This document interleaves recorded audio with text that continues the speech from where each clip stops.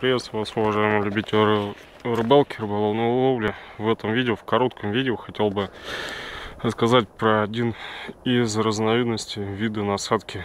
Это репейник. Зимой на него репейник, чернобыльник. Зимой на него крайне распространенно ловят на прудах, на озерах, плотву, окуня, больше плотву, наверное. Растет он по берегам, по берегам.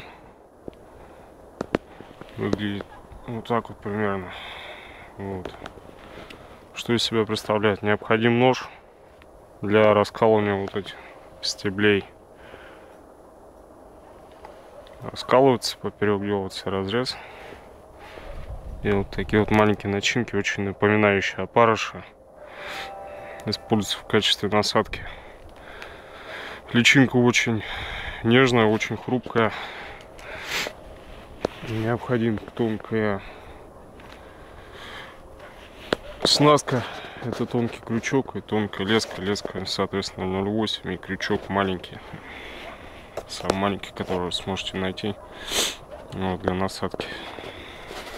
Вот сегодня что-то пришел на рыбалку, посмотрел, все местные ловят на него.